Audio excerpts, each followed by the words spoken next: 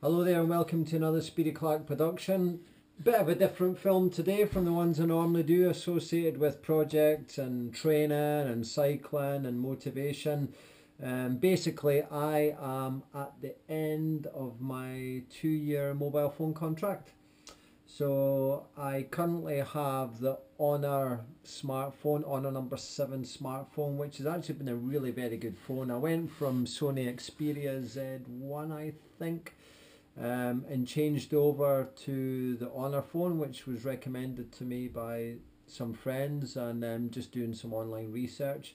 And it's been an absolutely amazing phone. Still working well, but uh, now I'm at the end of the contract and I'm looking for a new renewal.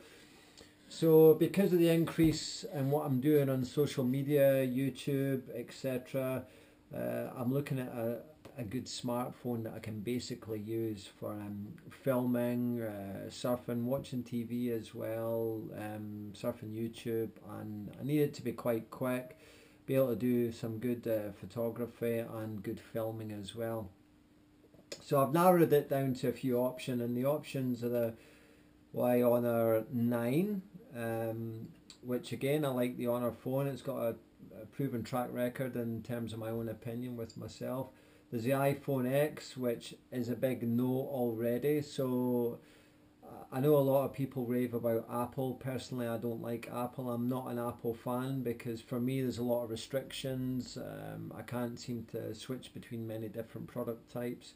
So iPhone and anything to do with Apple is out for me. There's the Pixel 2 the LG G6, um, OnePlus 5, the Galaxy S8, which have been recommended, and I do like the look of the phone. Functionally, it does seem very good. It has got an amazing camera, and the reviews I've watched and read have been very positive. However, the price is unbelievable. Um, now, the Honor 9 actually, on side by side comparison, has as much power um, performs the majority of the tasks and is equally as quick. So I'm thinking I'm going to go for the Honor 9. Um, if anybody's got any different opinions, then please let me know. But definitely in terms of price range, bang for buck, the Honor 9 seems to tick all the boxes.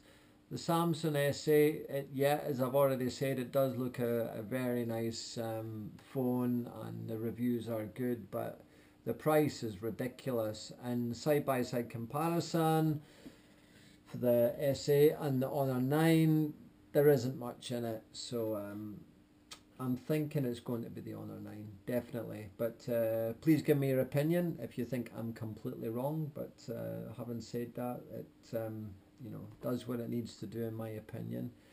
Um, so I'm with uh, my contract is currently with three, and I'm going to extend it with three again because I get basically get 600 minutes to any network.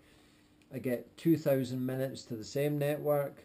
I get something like 3,000 text messages, and I don't really text that often.